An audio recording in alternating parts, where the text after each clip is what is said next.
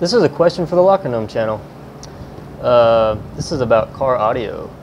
And uh, back in 2008, I had purchased uh, this receiver.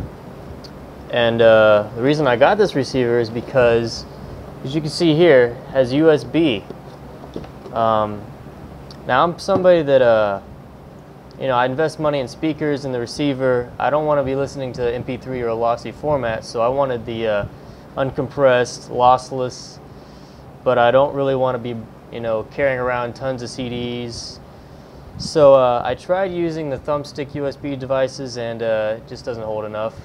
So I then uh, went on to using something like this, which is just a uh, regular 2.5 inch SATA drive. Um, bought a little case for it, cost about five bucks. And uh, I had to do a little testing, but uh, Turns out that this right here that has power and data doesn't actually have enough power or the receiver doesn't pull enough power from this cable to run this drive. So I have to use a secondary USB port that is into my car that is where the uh, I guess the adapter socket would be for uh, power devices.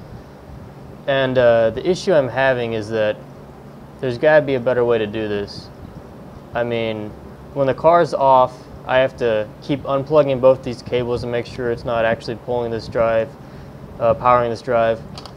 So I'm just wondering if there's any other alternative to get a hard drive to play back on this receiver without having to like use two USB ports.